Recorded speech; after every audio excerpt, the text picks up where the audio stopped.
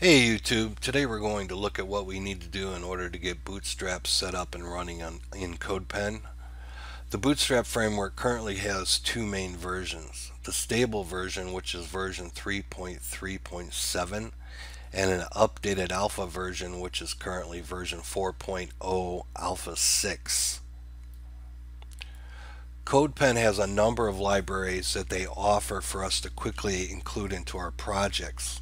And recently CodePen has made the switch from version uh, 3 of Bootstrap to the updated version 4 Alpha in their offered libraries.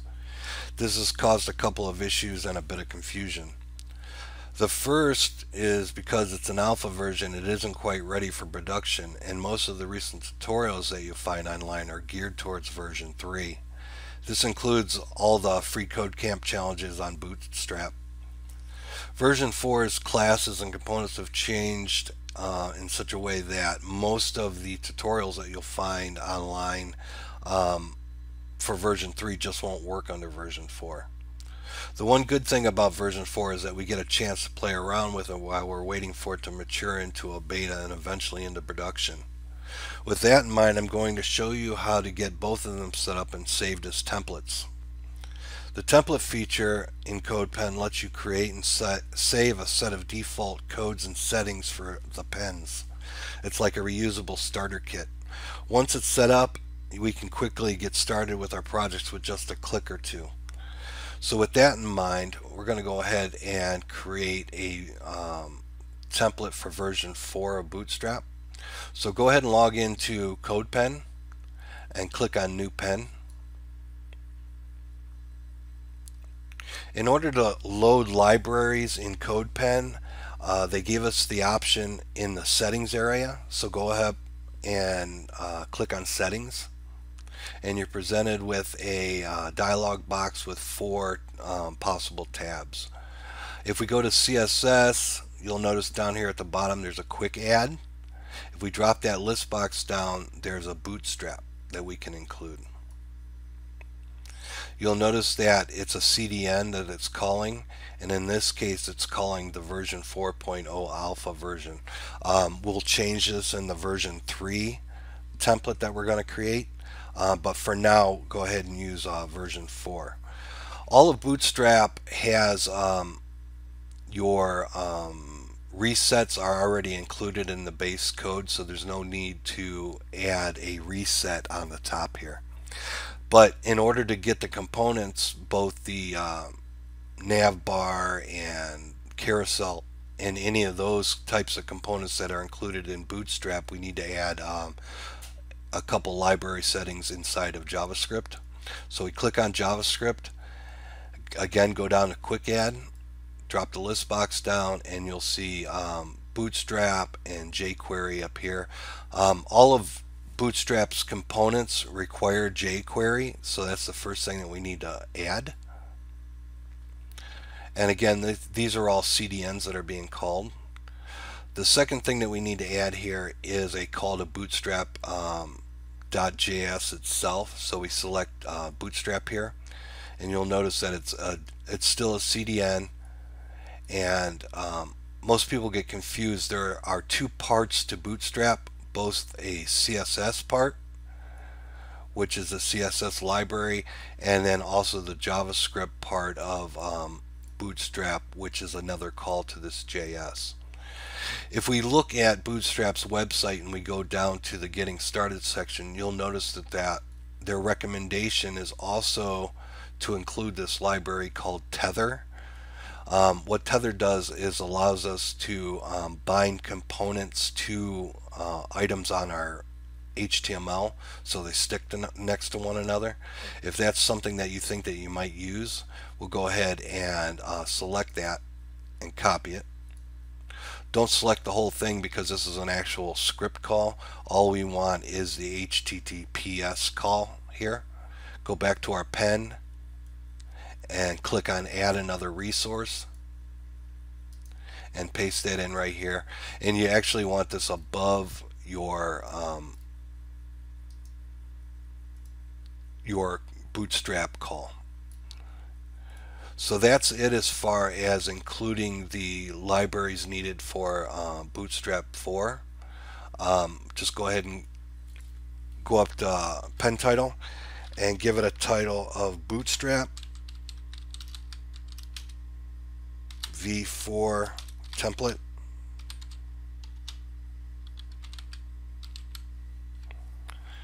And then down here you'll notice uh, a little checkbox that says template. Go ahead and select that. What that does is will allow us to use this as a template to create new pens from.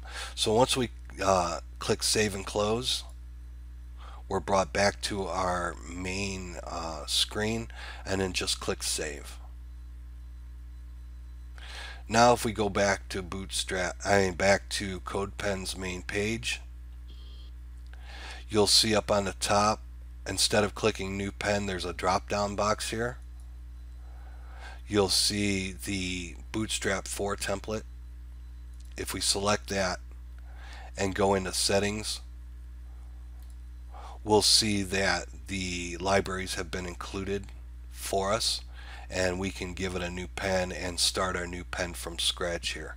Um, any pens that you create off of this template you don't click template again um, that's only the first time that you set this up so that we can get a copy of this each time.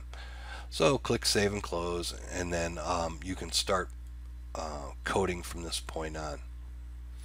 Okay, so now we're going to create the version 3 pen uh, template for um, Bootstrap 3. So go ahead and click on New Pen And the first thing we need to do is find the CDNs that we're going to use. So go to Google and type in Bootstrap CDN and you'll notice down here there's a quick start bootstrap by MaxCDN we're going to click on that and they give us the two um, CDNs that we're going to need in order to copy into our uh, our pen.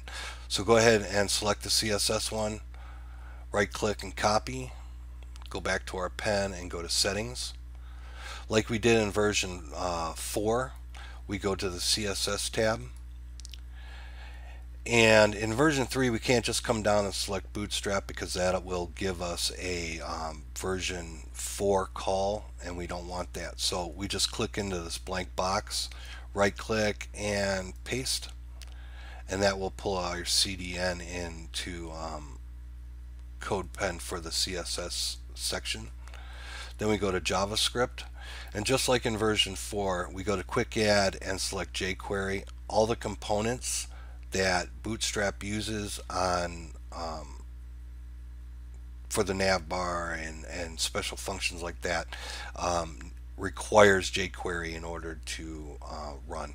So the next thing we need is to go back here to the CDN again and select the JavaScript version of the library and paste that directly under jQuery. And this is the same if you're uh, developing locally. You want to call your jQuery before your Bootstrap so that Bootstrap um, can grab whatever resources that it needs in jQuery. A lot of people uh, forget that in order to use the components um, for nav bars and carousels and things like that, you must include the Bootstrap uh, JS part of the library. So three parts. We have Bootstrap uh, .css, jQuery, and Bootstrap.js go up here to our pen title and give it a name.